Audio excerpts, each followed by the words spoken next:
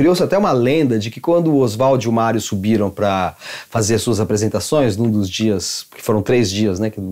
que, em que aconteceram eventos da semana, quando eles subiram ao palco, houve vaias.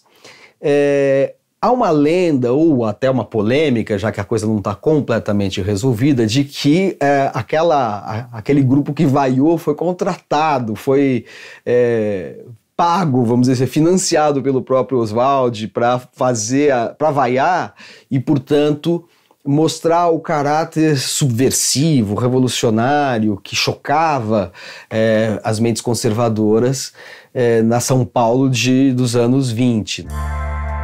Pauliceia Desvairada, documentário original Arte 1, sexta, 11 da noite.